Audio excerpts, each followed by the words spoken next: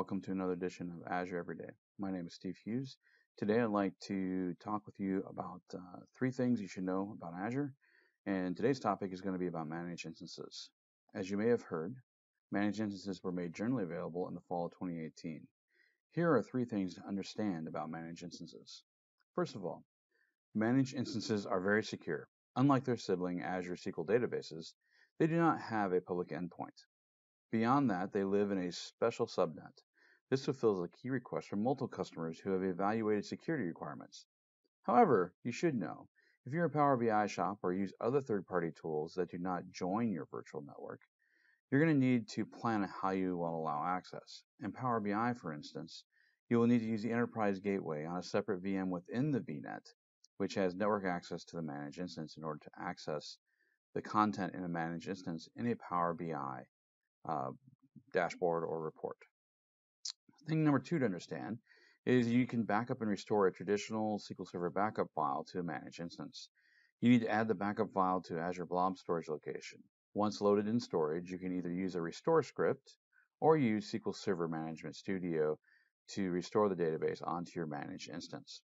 This works with multiple versions and additions to SQL Server.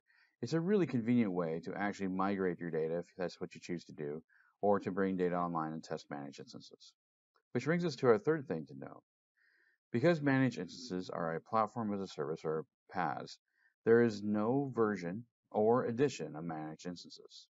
While they do have different service levels, general purpose and business critical, there are no significant functional differences between them with the exception of in-memory OLTP support. There are a number of other differences that you may uh, want to take advantage of, those differences you know, are related to things such as using always on versus the standard three copies of, of, uh, storage in the background. So there are some options there for you. Just be aware that managed instances are uh, a new thing in SQL Server and they're continuing to improve them and make more things available. Thank you for joining for this three things to know session here on Azure Every Day. Here's a summary of the three things to know about managed instances that we talked about today. Managed instances are very secure. That's the first thing to be aware of. If security is a primary concern, remember that managed instances are very secure. Uh, number two, managed instances support traditional backup and restore operations on SQL Server. So that makes your operationally easier to work with the platform. Number three, managed instances are version and edition agnostic. So once you move to managed instances, you no longer need to worry about um, updating or maintaining your solution. There are plenty more to know about managed instances. If you're looking at implementing managed instances or need any other support on Azure, click on the link below for more information. Thank you and have a great day.